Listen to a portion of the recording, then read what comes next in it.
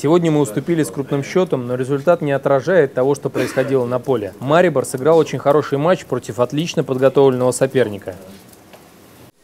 Ну, как и предполагали, игра достаточно тяжелый был. Счет 5-2 в конце уже, в принципе, ничего не отражал.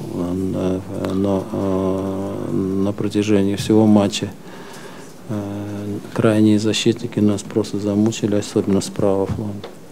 Ну, то, что я предполагал, тяжелый матч. Были моменты, где мы неправильно перестраивались. Но в целом есть удовлетворение от, вообще от, от игры в целом. Хотя мне команда соперников очень понравилась. Счет мог быть другим. Нам удалось создать несколько хороших возможностей для взятия ворот. Больше всего э, осадок неприятный от некоторых моментов в игре. Их там несколько, я перечислять не буду. И нет такого ощущения, что вот победили там безошибочно. То есть есть над чем работать. А то, что забили, это слава Аллаху.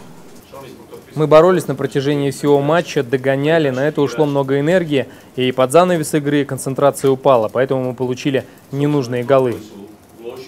Там Марибор хорошая команда. И вы как-то э, недооцениваете, что ли, какое-то настроение до игры было, что Рубин уже выиграл. Это очень приличная команда. И то, что моменты создавались при счете 3-2 забей, 3-3, и ничего не понятно было. Поэтому просто хорошая команда, которая умеет играть в комбинационный футбол, хорошо использует бреши в обороне. Стоит нам чуть-чуть ошибиться в обороне, как тут же опасный момент. Поэтому я думаю, что это заслуга Марибора. Ну и наши тактические ошибки, от чего и настроение не очень хорошее.